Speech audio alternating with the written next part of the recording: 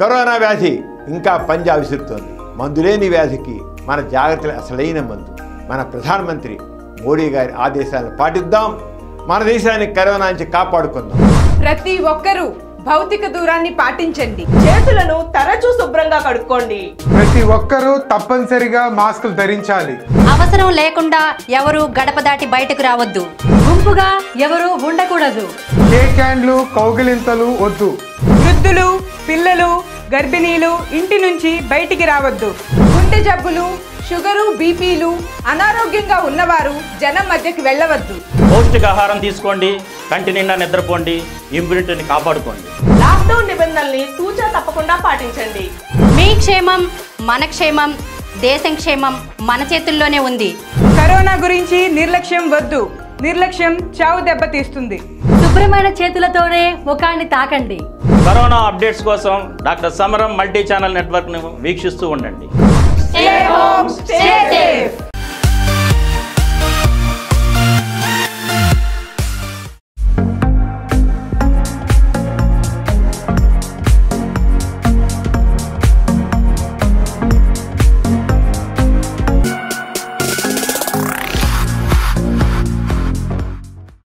వార్తాలోకంకి స్వాగతం. ఈనాటి ముఖ్య అంశాలు దాడికి ఏడేళ్ళు వైద్యులపై దౌర్జన్యం చేస్తే ఇక జైలుకి.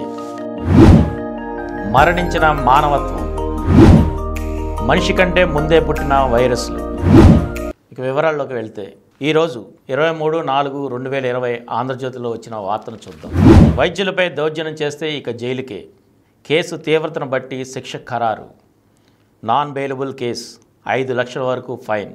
ధ్వంసమైన ఆస్తి విలువకు రెట్టింపు వసూలు. ఆర్డినెన్స్కు కేంద్ర కేబినెట్ ఆమోదం. కోవిడ్ ఆరోగ్య ప్యాకేజీ పదిహేను వేల కోట్లు.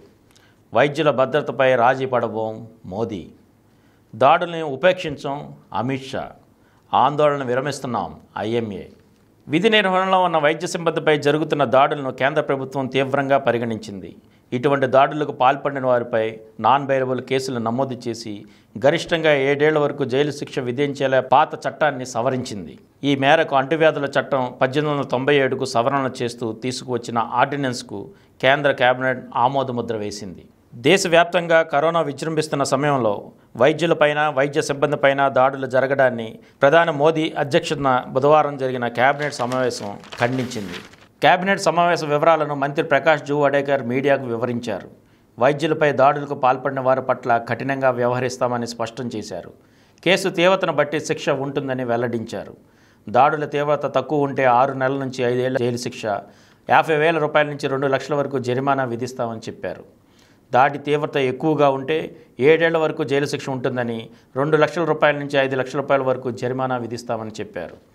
ఆసుపత్రికి సంబంధించిన ఆస్తులను ధ్వంసం చేస్తే వాటి మార్కెట్ విలువకు రెట్టింపు పరిహారాన్ని నిందితుల నుంచి వసూలు చేస్తామన్నారు. కాగా కేంద్ర ప్రభుత్వం తెచ్చిన ఈ ఆర్డినెన్స్కు రాష్ట్రపతి కోవింద్ బుధవారం అర్ధరాత్రి ఆమోదం తెలిపారు. ఈ విషయంలో మోదీ గారు ఏం చెప్పారో విందాం. వైద్య సిబ్బంది భద్రతపై రాజీ లేదు మోదీ. ప్రాణాలను పణంగా పెట్టి కరోనాపై పోరాడుతున్న వైద్య సిబ్బంది భద్రత విషయంలో రాజీ పడేది లేదని ప్రధాని మోదీ స్పష్టం చేశారు. వారి రక్షణ బాధ్యత తమదేనని ప్రకటించారు. కేంద్రం తెచ్చిన ఆర్డినెన్స్ తమ నిబద్ధతకు నిదర్శనమని ఆయన ట్వీట్ చేశారు. వైద్య సిబ్బంది భద్రతకు తగిన చర్యలు తీసుకుంటామని కేంద్ర హోంమంత్రి అమిత్ షా భరోసా ఇచ్చారు. వైద్య సిబ్బందిపై దాడులకు నిరసనగా గురువారం బ్లాక్ డేగా పాటించి నల్ల బ్యాడ్జీని ధరించి విధులకు హాజరవుతామని ఐఎంఏ ప్రకటించిన సంగతి తెలిసిందే. దీనిపై బుధవారం వైద్యులు ఐఎంఏ ప్రతినిధులు అమిత్ షా వీడియో కాన్ఫరెన్స్ నిర్వహించారు. దాడులు జరగకుండా చర్యలు తీసుకుంటామని హామీ ఇచ్చారు. దీంతో నిరసన కార్యక్రమాలను విరమించుకుంటున్నట్టు ఐఎంఏ ప్రకటించింది. కాగా ఆర్డినెన్స్ తెచ్చే వరకు వెనక్కి తగ్గేది లేదని వైద్య పారిశుద్ధ సిబ్బంది గురువారం నుంచి నల్ల బ్యాడ్జీలు విధులకు హాజరవుతారని ఐఎంఏ ఏపీ అధికార ప్రతినిధి తుమ్మల కార్తీక్ విజయవాడలో ప్రకటించారు. ఇక రెండవ వార్త. ఇదే రోజు ఆంధ్రజ్యోతిలో వచ్చిన మరొక వార్త. మరణించిన మానవత్వం. వీళ్ళందరూ కరోనా మీద పోరు సాగిస్తున్న సిబ్బందికి మద్దతుగా ఆ మధ్య మనతో పాటు క్యాండిల్ వెలిగించిన వారే పళ్ళాళ్ళు మోగించిన వాళ్ళే. కానీ మానవత్వం మరిచారు. ఒకరినొకరు గుడ్డిగా అనుసరించడమే తప్ప ఎందుకు చేస్తున్నామనే ఆలోచన ఎవ్వరికీ లేదు. వేల మందికి ప్రాణం చేసిన వైద్యుడు ఆయన కరోనా బారిన పడి ప్రాణాలు పోయి పడి ఉంటే మూకజనం అంత్యక్రియలను అడ్డుకున్నారు. కర్రలతో రాళ్ళతో అంత్యక్రియలకు అడ్డుపడ్డారు. ఆ శ్మశానంలో మనిషి కాదు మానవత్వమే మరణించింది. చెన్నై డాక్టర్ సైమన్ హెర్క్యులస్ అంతిమ సంస్కారం వాళ్ళ దేశంలో ఓ దయనీయ సంచలనమైంది. కరోనా యోధుల కోసం అంటూ డప్పులు కొట్టి దీపాలు వెలిగిస్తాం. కానీ అండగా నిలవాల్సిన క్షణంలో మానవత్వం మర్చిపోదామా? దాడికి దిగిన జనం సమూహం మధ్య గొయ్యి తీయడానికి మృతదేహంపై కాస్తంత మట్టి వేయడానికి పనిముట్లు లేని స్థితిలో హడావుడిగా అంచెగేలు ముగించి ఒక జీవితకాలపు అంతులేని వేదనతో వెనుదిరిగిన డాక్టర్ ప్రదీప్ కుమార్ వేస్తున్న ప్రశ్నకు జవాబు ఏది? జవాబుదారి ఎవరు? డాక్టర్ సైమన్కు అంత్యక్రియలు జరిపిన తోటి డాక్టర్ ప్రదీప్ కుమార్ పంచుకున్న అనుభవం ఇది అదేమిటో చూద్దాం. వైద్యుడిగా ఎన్నో మరణాలను చూశాను. కానీ సాటి వైద్యుడు అంతకు మించి స్నేహితుడైన వ్యక్తికి నా స్వహస్తాలతో అంత్యక్రియలు జరపడం ఇదే మొదటిసారి. మంచి మనసున్న న్యూరాలజిస్ట్ సైమన్కు కోవిడ్ నైన్టీన్ సోకి మరణించడం జీర్ణించుకోలేకపోతున్నాను. కుంగిపోతున్న మనసును కూడ తీసుకుని అంత్యక్రియలకు సిద్ధపడ్డాం. ఆ సందర్భంలో ప్రజల నుంచి అమానవీయ పరిణామాలను ఎదుర్కొన్నాం. ఇందుకు తప్పు ప్రజలదే అని నేను అనను. వాళ్ళు అర్థం లేని అవాస్తవాలను అపోహలను గుడ్డిగా నమ్ముతారు. వాటిని బలపరిచే బోల్డెంత తప్పుడు సమాచారం ప్రతి క్షణం సామాజిక మాధ్యమాల్లో పుట్టుకొస్తూనే ఉంటుంది. అలాగని వీళ్ళంతా సామాజిక అంశాల పట్ల చైతన్యం లేని వారని అనుకోలేం. వీళ్ళందరూ కరోనా మీద పోరు సాగిస్తున్న సిబ్బందికి మద్దతుగా ఆ మధ్య మనతో పాటు క్యాండిల్లు వెలిగించిన వారే పళ్ళాలు మోగించిన వాళ్ళే ఆఖరకు మా అమ్మ కూడా కరోనా మరణిస్తుందనే నమ్మకంతో రాత్రి తొమ్మిది గంటలకు తొమ్మిది క్యాండిళ్ళు వెలిగించింది. ఒకరినొకరు గుడ్డిగా అనుసరించడమే తప్ప ఎందుకు చేస్తున్నామనే ఆలోచన ఎవరికీ కలగడం లేదు. ఒక వైద్యుడి తల్లి పరిస్థితి ఇలా ఉంటే ఇక ప్రపంచం పరిస్థితి ఎలా ఉంటుందో ఊహించండి. కరోనా గురించిన అర్థం లేని అవాస్తవాలకు బదులు ఖననం చేయడం వల్ల ఆ ప్రాంతంలో వైరస్ ప్రబలదు అనే నిజానికి ప్రచారం జరిగి ఉంటే ఈరోజు సైమన్కు ఈ దుస్థితి పట్టేదే కాదు. డాక్టర్ సైమన్ హెర్క్యులస్ చెన్నైలోని కిలాక్స్లోని న్యూ హోప్ ఆసుపత్రి డైరెక్టర్. ఓ విదేశీయుడికి చికిత్స చేస్తూ ఏప్రిల్ ప్రారంభంలో కోవిడ్ నైన్టీన్ బారిన పడిన డాక్టర్ సైమన్ చివరకు వెంటిలేటర్ దశకు చేరుకున్నారు.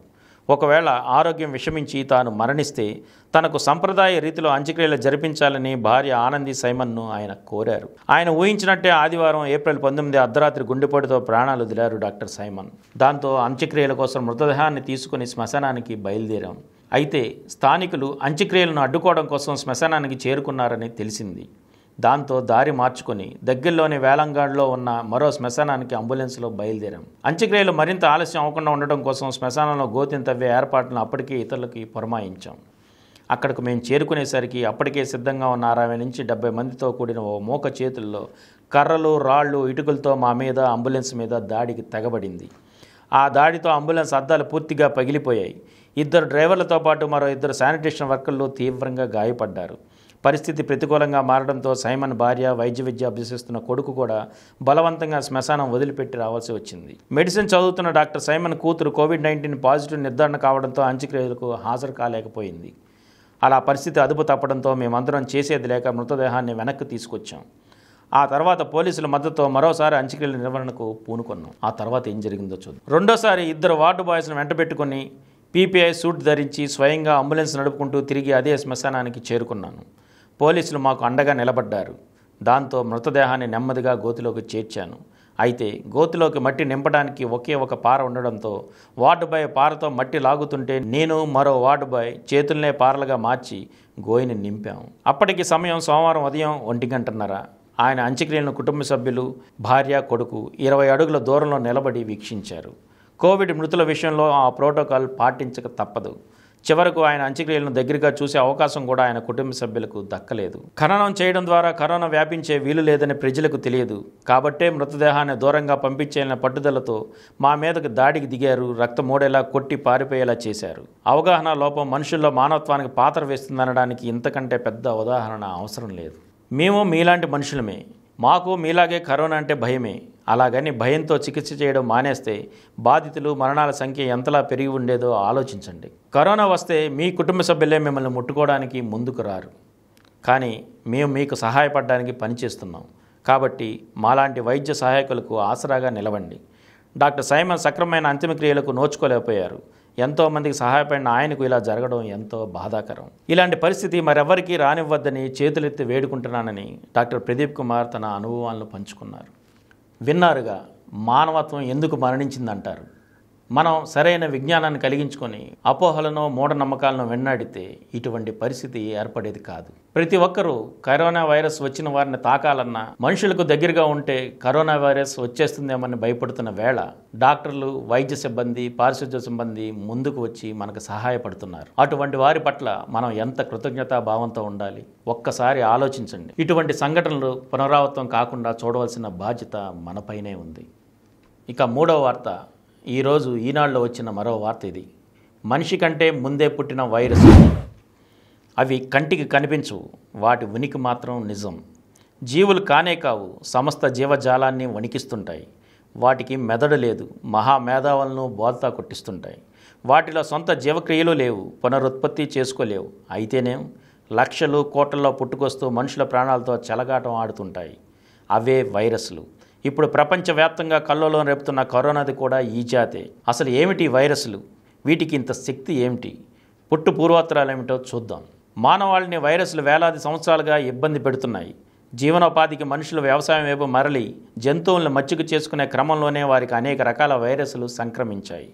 ప్రజలు సమూహాలుగా జీవించడం జనాభా పెరగడంతోనూ కొత్త ఇన్ఫెక్షన్లు సోకాయి. ఏవియన్ ఫ్లూ సార్స్ హెచ్ఐవి ప్రస్తుత కోవిడ్ నైన్టీన్ ఇవన్నీ ఇతర జీవుల నుంచి వచ్చినవే. శాస్త్ర సమాజం వైరస్లపై అనేకసార్లు భిన్న అభిప్రాయాలకు వచ్చింది. తొలుత విషంగాను తర్వాత జీవరూపాలుగాను కొంతకాలానికి జీవరసాయనగాను పరిగణించింది. చివరికి వైరస్లుగా ఖరారు చేసింది. మొదట్లో గ్రీకులు రోమన్లు ఇవి సోకటానికి చెడుగాలి దుర్వాసన వంటివి కారణాలుగా అంచనా వేశారు. కుళ్ళిపోయిన కాఫీ గింజలతోనే ఎల్లో ఫీవర్ వస్తుందని పద్దెనిమిదవ శతాబ్దంలో భావించారు. అసలు ఆ పేరు ఎలా వచ్చింది? వైరులెంటన్ అనే లాటిన్ మాట నుంచి వైరస్ పదం వచ్చింది. విషతుల్యమని దీని అర్థం. పంతొమ్మిదవ శతాబ్దంలో ప్రమాదకర వ్యాధిని కలిగించే ఏ పదార్థానైనా ఈ పేరుతోనే పిలిచేవారు. విషతుల్యతతో జబ్బులు వస్తున్నాయన్న భావనతో ఈ పేరుని ఖరారు చేశారు. దీని ఉనికి తేలింది ఎలా చూద్దాం? పదిహేడవ శతాబ్దంలో మైక్రోస్కోప్ను కనుగొన్నాక సూక్ష్మక్రిములపై శోధన మొదలైంది. తొలుత బ్యాక్టీరియాని గుర్తించారు. పంతొమ్మిదవ శతాబ్దం చివరిలో రేబిస్ వంటి కొన్ని వ్యాధులు బ్యాక్టీరియాను పోలిన వాటికంటే చిన్నగా ఉన్న రేణువులతోనే వస్తుండొచ్చని తేల్చారు. పద్దెనిమిది వందల తొంభై రెండులో రష్యన్ బ్యాక్టీరియాలజిస్ట్ దిమిత్రి ఇవానోవస్కి తెలిసికారిగా వైరస్ ఆచూకిని పసిగట్టారు. దీనికి టొబాకో మొజాయిక్ వైరస్గా పేరు పెట్టారు. పంతొమ్మిది వందల ముప్పై ఐదులో వెండెల్ ఎం స్టాన్లీ అనే శాస్త్రవేత్త టొబాకో మొజాయిక్ వైరస్ సమూహాన్ని క్రమబద్ధతలో అమర్చి విశ్లేషించారు. పంతొమ్మిది వందల నలభైలో ఎలక్ట్రానిక్ మైక్రోస్కోప్ ఆవిష్కరణతో వైరస్లను ప్రత్యక్షంగా చూడగలుగుతున్నారు. వైరస్ల నిర్మాణం చాలా సాధారణంగా ఉంటుంది. ఇవి న్యూక్లిక్ ఆమ్లాలు ప్రోటీన్లు లిపిడ్లు నీటితో తయారవుతాయి. బ్యాక్టీరియాతో పోలిస్తే వంద నుంచి వెయ్యి రెట్లు చిన్నవి. సగటున వీటి వెడల్పు ఇరవై నుంచి నాలుగు వందల నానోమీటర్లు. మనుగడ పునరుత్పత్తి కోసం మొక్కలు జంతువులు సూక్ష్మజీవులు మనుషులపై ఆధారపడతాయి. పైగా అతిథేయ జీవులు అంటే హోస్ట్ శరీరం వెలుపల క్రియాశీలంగా ఉండలేవు. వీటికి ఆహారాన్ని శక్తిగా మార్చుకునే జీవక్రియను సామర్థ్యము లేదు. అందుకే వీటిని పలువురు శాస్త్రవేత్తలు జీవులుగా పరిగణించడం లేదు. అయితే వీటిలో జీవానికి సంబంధించిన డిఎన్ఏ ఆర్ఎన్ఏలు ఉండటంతో జీవులకు రసాయనాలకు మధ్యనున్న ప్రత్యేక తరగతిగా పరిగణిస్తున్నారు. పునరుత్పత్తి కోసం మనుషులు జంతువులు మొక్కలు సూక్ష్మజీవులు శిలీంధ్రాలలో తనకు సరిపడే అతిథేయను గుర్తించడానికి వైరస్ల ఉపరితలాలపై రెసెప్టార్లు ఉంటాయి. వీటి ద్వారా అతిదేయ కణంలోకి ప్రవేశించగానే వైరస్ తన జన్యు పదార్థాన్ని ప్రవేశపెడుతుంది. కణ యంత్రాంగాన్ని హైజాక్ చేసి స్వీయ జన్యు పదార్థాన్ని ప్రోటీన్ల సంఖ్యను వేల సంఖ్యలోకి పెంచేసుకుంటుంది. ఇతర కణాలకు ఇన్ఫెక్షన్ వ్యాప్తి చేస్తాయి. ఫలితంగా అతిదేయ జీవి జబ్బున పడుతుంది. వీటి వ్యాప్తి ఎలా చెందుతుందో చూద్దాం. వైరస్లు ఒక చోటు నుంచి మరో చోటికి ప్రయాణించలేవు. అయితే బరువు తక్కువగా ఉండడంతో రోగి శరీరం నుంచి బయటకు వచ్చాక స్వల్ప దూరం పాటు గాలిలో ఎగరగలవు. నీటిలోనూ మనుగడ సాగిస్తాయి. మనం చర్మం పైన ఉంటాయి. కరచాలనం ఒక వ్యక్తి తుమ్మినా దగ్గినా ఇతరులకు సోకుతాయి. చల్లటి పొడి వాతావరణంలో ఎక్కువ కాలం మనగలుగుతాయి. ఇన్ఫెక్షన్ సోకిన వ్యక్తి రక్తం మలం వాంతి ద్వారా ఎబోలా వైరస్ వ్యాప్తి చెందుతుంది. డెంగీ జికా గన్య వెస్ట్ నైల్ వంటి వైరస్లు మాత్రం దోమ వంటి ఇతర జీవుల సాయంతో వ్యాప్తి చెందుతాయి. వైరస్లు వేగంగా పరిణామం చెందుతాయి. అతిదేయ కణంలోకి ఒక వైరస్ జన్యు పదార్థం ప్రవేశించగానే కొన్ని గంటల్లోనే అది ఇబ్బడి ముబ్బడిగా పునరుత్పత్తి చేసుకుంటాయి. మాయదారి సంతల సంతతి పెంచేసుకుంటాయి. దీంతో వేగవంతమైన ఉత్పరివర్తనల ద్వారా అవి టీకాలు మందులు అతిధేయ జీవుల్లోని రోగ నిరోధక వ్యవస్థను బోల్తా కొట్టిస్తాయి. అసలు ఎక్కడి నుంచి వచ్చాయి? వివిధ కారణాలతో ఉత్పత్తి సామర్థ్యాన్ని కోల్పోయిన కణాల నుంచి మిగిలిపోయిన శకలాల వైరస్లుగా మారాయని కొందరు నిపుణులు చెబుతున్నారు. మరి కొందరు మాత్రం వైరస్లు భూమి మీద అత్యంత పురాతన జీవం కన్నా ముందు నుంచే ఉన్నాయంటున్నారు. కొన్ని రకాల పెద్ద వైరస్ల్లో స్వతంత్రత ఎక్కువ. ఈ అంశం ఆధారంగా భూమి మీద ఉన్న జీవానికి నిర్మాణ ఇటుకలుగా ఇవి ఉపయోగపడి ఉంటాయని పలువురు శాస్త్రవేత్తలు భావిస్తున్నారు. తొలినాటి సంక్లిష్ట జీవుల ఆవిర్భావంలోనూ అవి కీలక పాత్ర పోషించి ఉండొచ్చని అంచనా. మానవ డిఎన్ఏలో దాదాపు సగభాగం వైరస్ల నుంచి వచ్చిందే. మన పూర్వీకుల అండాలు వీర్యకణాల్లో ఇవి తిష్టవేయడం ద్వారా డిఎన్ఏలో భాగమయ్యాయి. అయితే అలా చేరిన వైరస్ జాతుల్లో చాలా వరకు ఇప్పుడు అంతరించిపోయాయి. తయారీ సులువే. సాధారణ వైరస్ను ప్రయోగశాలలో కూర్చడం చాలా సులువు. శుద్ధి చేసిన ప్రోటీన్ను న్యూక్లిక్ జీనోమ్ను తీసుకొని వీటిని నిర్దిష్ట లవణీయత ఆమ్లత ఉష్ణోగ్రతల మధ్య నీటిలో కలిపితే కొంతకాలానికి వీటిలో కొన్ని ఇన్ఫెక్షన్ కారక వైరస్ రేణువులుగా తయారవుతాయి. వైరాలజీ అంటే ఏమిటో చూద్దాం. వైరస్లు మానవాళి ఒకే ప్రపంచంలో కలిసి ఉండాల్సిందే. అందువల్ల వాటి నుంచి గరిష్ట రక్షణకు కవచం అవసరం. దీన్ని రూపొందించేదే వైరాలజీ. వైరస్ల తీరుతెన్నులపై పరిశోధనలు చేసి మానవాళికి ఇది ఆసరాగా నిలుస్తుంది. ఫలితంగానే పోలియో మీజిల్స్ రూబెల్లా వంటి అనేక ఇన్ఫెక్షన్లకు టీకాలు వచ్చాయి. ప్రపంచంలోనే అతిపెద్ద వైరస్ పేరు మిమీ వైరస్ దీని వ్యాసం నాలుగు వందల నానోమీటర్లు. ఇది తొమ్మిది వందలకు పైగా ప్రోటీన్లను ఉత్పత్తి చేస్తుంది. కొన్ని రకాల బ్యాక్టీరియల కన్నా పెద్దది. అత్యంత చిన్న వైరస్ పేరు సిర్కో వైరస్ దీని వ్యాసం ఇరవై నానోమీటర్లు. రెండు ప్రోటీన్లనే ఉత్పత్తి చేస్తుంది. ఒక ఫ్లూ ఈజ్ ఈక్వల్ టు వంద లక్షల కోట్ల వైరస్లు. ఒక వ్యక్తి ఫ్లూ బారిన పడితే అతడి శ్వాసనాళాల్లో ఇన్ఫెక్షన్ సోకి ప్రతి కణము దాదాపు పదివేల కొత్త వైరస్లను ఉత్పత్తి చేస్తుంది. కొద్ది రోజుల్లోనే అతడి శరీరంలో వంద లక్షల కోట్ల వైరస్ రావచ్చు. మొత్తం మీద మానవ జనాభాతో పోలిస్తే ఇది కొన్ని వేల రెట్లు ఎక్కువ కావడం గమనార్హం. ఒక మిల్లీ లీటర్ సముద్రపు నీటిలో ఒక లక్ష వైరస్ రేణువులు ఉంటాయి. ఇప్పటి వరకైతే ఆరు వేల ఎనిమిది వందల ఇరవై ఎనిమిది వైరస్ జాతులకే పేర్లు పెట్టారు. ఇంకా లక్షల్లో వైరస్లకు పేర్లు పెట్టాల్సి ఉంది. తొలిసారిగా గుర్తించిన మానవ వైరస్ పేరు ఎల్లో ఫీవర్ పంతొమ్మిది వందల ఒకటిలో వాల్టర్ రీడ్ దీన్ని కనుగొన్నారు. వీటిని ఎలక్ట్రాన్ మైక్రోస్కోప్ కింద చూసినప్పుడు చాలా అందంగా కనిపిస్తాయి. వీటి వలన ఉపయోగాలు కూడా ఉన్నాయి. వైరస్లో మానవాళికి ఉపయోగపడేవి కొన్ని ఉన్నాయి. అవి జన్యు రోగ నిరోధక వ్యవస్థకు సంబంధించిన ప్రాథమిక అంశాలపై పరిశోధనలకు వంశపారపర్యంగా వచ్చే వ్యాధులు క్యాన్సర్లపై అవగాహన చికిత్సకు ఉపయోగపడుతున్నాయి. కొన్ని వైరస్లను బ్యాక్టీరియా కారక ఇన్ఫెక్షన్లు చికిత్స చేయడానికి ఉపయోగిస్తారు. నానో టెక్నాలజీలో జన్యు మార్పిడి పంటల్లో నిర్దిష్ట అంశాలను మోసుకెళ్ళే వాహకాలుగాను సహాయపడుతున్నాయి గర్భంలో తల్లి రోగనిరోధక వ్యవస్థ శిశువుపై దాడి చేయకుండా కొన్ని రకాల వైరల్ ప్రోటీన్లు కాపాడతాయి. హెచ్టిఎల్వి అనే ఒక వైరస్ వేల సంవత్సరాల పాటు మానవులతో కలిసి సాగింది. తొలినాళ్ళలో మానవుల వలస పోకుండా వెలుగులోకి తీసుకురావడానికి ఇది ఇప్పుడు సహాయపడుతోంది ఈ ప్రపంచంలో ఉన్న రకరకాల వైరస్లు వాటి కథా కమామేషు తెలుసుకున్నాం కదా? తిరిగి రేపటి వార్తాలోకంలో మళ్ళీ కలుసుకుందాం.